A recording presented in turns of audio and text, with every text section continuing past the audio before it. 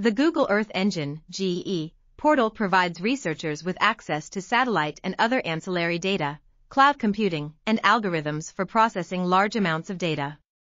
Despite its potential, however, the uptake and usage of this opportunity remain limited and unclear.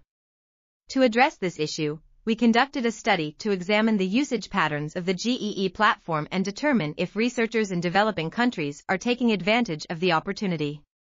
Our analysis revealed that 300 journal articles have been published since 2011 that utilize GEE in their research, distributed among 158 different journals.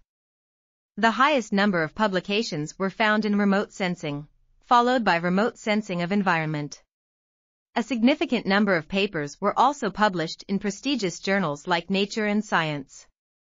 Furthermore, the application areas covered by these papers were diverse, including forest and vegetation studies, malaria, and more. Landsat was the most commonly used dataset, comprising the largest portion of the GEE data portal.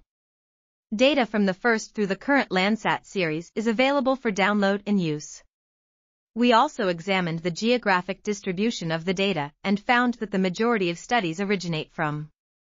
This article was authored by Lalit Kumar and Onisimo Mutanga. We are RTCL.TV, links in the description below.